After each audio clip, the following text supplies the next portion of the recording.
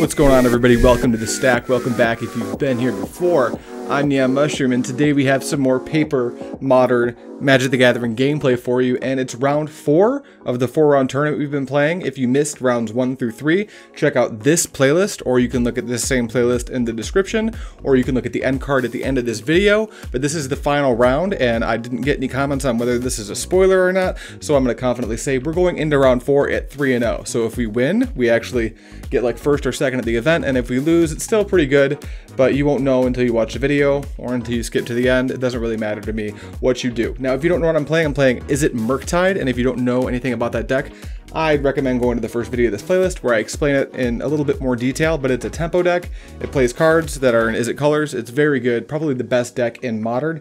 And our opponent, Jacob Morley, is playing like a deck I haven't seen up until this point. It's a Boros Lotus Field deck with like Nahiris, and Emrakuls. It's a really cool build. I'm still, even after editing it, not sure like where we picked up this list or if we built it, but it's it's sweet. Actually, we we played Rhinos, by the way. You guys wanted to see Rhinos uh, in the poll. Rhinos won. We played Rhinos last night, and there was some there were some sweet decks we played against then too. So that's one thing I'm actually kind of geeked about is getting getting to see all these decks that are uh, not in the metagame that I can show you guys. But that's everything you should need to know. So we're going to go ahead and play game, our game one of round four of the tournament we played in. Let's start. Game one, Jake wins the die roll, so he'll be on the plane. He's keeping a hand of seven cards. I do not have that luxury. We're going to mulligan the hand of Expressive Iteration, Ragavan, Basic Island, Mishra's Bauble, Ledger Shredder, Subtlety, and Lightning Bolt. Sometimes you can keep one landers in this deck, but this being a Basic Island is an absolute no-go. So we're going to keep the six of Misty Rainforest, Unholy Heat, Spirebluff Canal, Mishra's Bauble, Murktide Regent, Consider, and we'll ship a redundant copy of Spirebluff Canal to the bottom of our library. Turn 1. Jake drops a Foundry tapped and passes the turn. I'll drop a Spirebluff Canal and pass right back. Then I'll play a Plains and try to pass, but before he can, I'll cast Consider, keep the card on top, draw it, on tap, and play a second Spirebluff Canal. Then I'll drop Ledger Shredder, cast a Bauble, trigger my first Shredder, pitch a second one so it grows. Then I'm gonna Bauble Jake and pass the turn. In Jake's upkeep, I'll draw off the Bauble, and he'll play a Cascading Cataracts and drop Blood Sun. He'll draw off the Blood Sun trigger and pass the turn. I'll drop a Misty Rainforest, attack Jake for 2 with my Shredder, dropping him to 18, and try to pass, but first he's gonna pitch an Ephemerate to Solitude my Shredder. I'll lose my Shredder, but go up to 22. Jake drops a Gonjo and tries to pass the turn back to me, and I try to fetch, but he points out that the Blood Sun will not let me, so I'm stuck with this useless Misty Rainforest. I'll play a Scalding Tarn, another useless land, and pass the turn. Jake's just gonna draw his card and pass right back to me, so I'll play a Steam Vents, which comes into play on tap thanks to the Blood Sun, and then I'll try to pass the turn, but at my end step, Jake's gonna cast Valakut Awakening, and I'm gonna Spell Pierce the Awakening. Jake's just gonna draw a card and pass the turn right back to me, so I'll play an Expressive Iteration, I'll put a Shredder into my hand off the Iteration, I'll exile a Bauble, and I'll bottom another copy of Iteration. I'll cast the Bauble, I'll Bauble Jake, I'll see a Cleansing Wildfire, and then I'll pass the turn. I'm gonna draw off Bauble in Jake's upkeep, he's gonna play Nahiri the Harbinger, and plus Nahiri to discard a Wildfire and draw. Then I'll play a Mountain as his land for turn, he tries to pass, but before he can, I'll cast Unholy Heat targeting the Nahiri, and I am Delirious, so this will deal 6 damage, killing the Nahiri. I'll play a Polluted Delta as my land for turn and just pass right back. Jake's once again gonna draw a card and pass the turn. I'm also gonna draw and pass, but at the end of turn, Jake's gonna cast a Solitude. Jake on taps, attacks for 3 with the Solitude. I'm gonna drop to 19. Jake's gonna go up to 21 thanks to lifelink, and he'll pass the turn. I'll play a Dragon's Rage Channeler, try to pass the turn, but at the end of turn, Jake's gonna cast Solitude, and I'm gonna counterspell the Solitude. Now that I'm tapped out, Jake's gonna drop a Plains and cast Golos, trigger Golos. Jake's gonna get a Lotus Field off the Golos, then he's gonna Ephemerate targeting his Golos, trigger it again, and get another Lotus Field. He's gonna attack me for 3 with Solitude, and I'll block with DRC. Jake will gain 3 and go up to 24, and he passes the turn. I'll drop an Island, play a Ledger Shredder, and then I'm gonna cast a Murktide Regent as a 4-4. I am undersizing it because I have another Murktide in my hand, and when I exile cards to the second one, the first one will get bigger. That's gonna trigger my Ledger Shredder, and I'll pitch a Steam Vents to the Shredder. The Murktide resolves, and I will pass the turn. In Jake's upkeep, the Ephemerate is going to rebound. He will target Golos. He'll get a third Lotus Field, and then he's gonna cast Valakut Awakening to pitch one card to the bottom. That's gonna trigger my Shredder. I'll pitch a Tarn to the Shredder so it will not grow. Jake draws two off of the Awakening, and then casts Fury. Fury is gonna kill a Murktide. I really should have played around that. I wasn't even thinking about Fury. Then he plays Nahiri again, pluses the Nahiri and passes the turn. I'll open on Expressive Iteration, adding a bolt to my hand. I'll put a land on the bottom and I'll exile another Murktide Regent. I'll cast Murktide as an 8-8, triggering my Shredder. I'll pitch a counterspell to the Shredder so it grows and then I will pass the turn. Jake's gonna float a ton of mana off his Lotus Fields and he's gonna spin Golos. The first thing he's gonna do off of the cards from Golos is Ephemerate the Fury to kill my Shredder. Then I'll play a Wall of Omens for free, drawing off the wall, and I'll spin Golos again,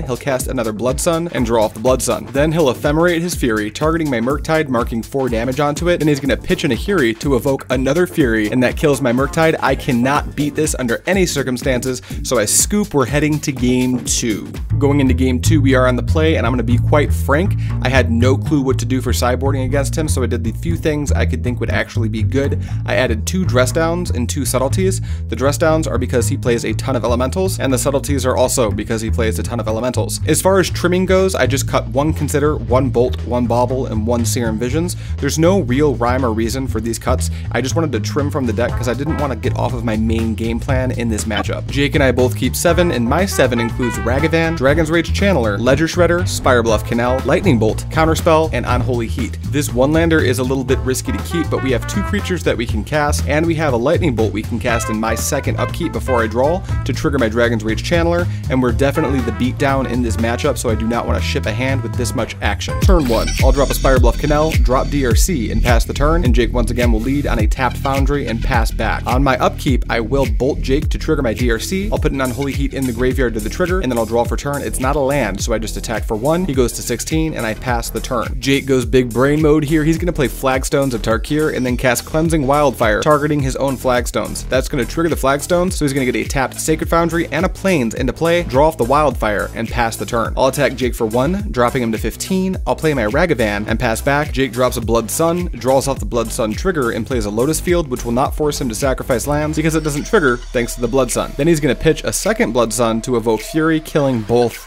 of my creatures, and to rub salt in the wound, he'll play a Chalice on one and pass the turn. I'll play Misty Rainforest right on time, can't even fetch, so I'll pass the turn. Jake's gonna play Nahiri, plus the Nahiri, pitch an Emrakul, that's gonna trigger the Emrakul, he'll shuffle his graveyard into his library, and then he'll play Rest in Peace and pass the turn. I'll just draw a card and pass back to Jake, who's gonna plus Nahiri, discarding nothing, so there's no draw. He'll play Wall of Omens to draw a card and pass the turn. I once again am going to draw my card and pass to Jake, who pluses Nahiri, pitches a Golos to draw, plays another Lotus Field, casts Golos, triggers the Golos, gets another Lotus Field, and then I'm going to Chalice check him, and he catches it, and he passes the turn. I'll draw and pass one more time. Then he's going to ult his Nahiri. He'll get Emrakul, and uh, I'm going to Chalice check him again, I guess. Doesn't really matter. The Emrakul has haste. He's going to kill me dead. We lose this round 0-2. We got absolutely ranched. After editing those games, if there's one thing I can say confidently, it's that I could have played that matchup a lot better. In my defense, I didn't know exactly what I was getting myself into playing against Jake. You guys will probably see more of Jake. As a matter of fact, I can promise you you'll see more of Jake because I played him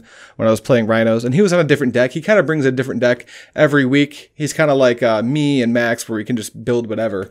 Um, but going back and editing the game, I realized that like, okay, I was correct to play around the Solitude as hard as I did in game one, but at a certain point, like he did end up having three of his four Solitudes, but after a certain point, he's going to run out of those, and I had a pretty threat dense hand, so I shouldn't have held back as much as I did. There's a chance I could have tried to win game one, but it probably would have been close even if I had played it perfectly. As far as game two goes, I think my opener was defensible if I let on Ragavan. Leading on the DRC, there's some logic to it because you can really try to hit that land drop, especially if I had a consider, which I didn't. But if I had like a consider and a bauble, those one land hands are great. But I led on the DRC. I got blown out by Fury, and to be quite frank, if I was going to keep a hand like that, I should have led on a Ragavan. That way, if they didn't have the turn one Solitude or the turn one Fury, I could at the very least attack with the Ragavan, get my treasure, and start to deploy my threats a little bit quicker. And I maybe could have won game two as well, but we lost games one and two because we were outplayed by Jacob. Uh, let me know. This is another call to actions for you guys because this is the conclusion of our four round event. We went three and one playing Murktide. Murktide's what I main right now in Modern, so you'll see be seeing more Murktide for sure, but not soon. For these videos, I know I'm gonna have to play some different decks, so look forward to another poll after this next batch comes out. But definitely in the comments below, if you've made it to this point in the video, I genuinely want to know feedback after having watched all four episodes of this modern gameplay series, and I'm looking for constructive criticism. So if there's anything you wanted to uh to bring to light for me, now's the time to do it. With that said, that's all I have for you guys today. Look for some Commander content coming out tomorrow. I don't know if I'm supposed to say that because it dates the video, but I don't care because we're going to be uploading more. Thank you guys so much for watching, and as always, I'll see you next time.